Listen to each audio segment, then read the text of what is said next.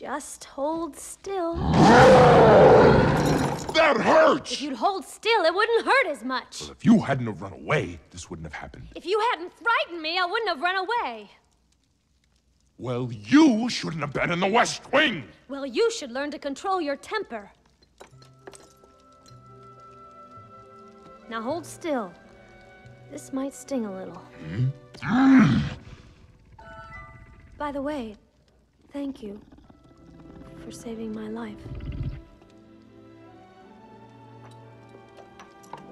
You're welcome.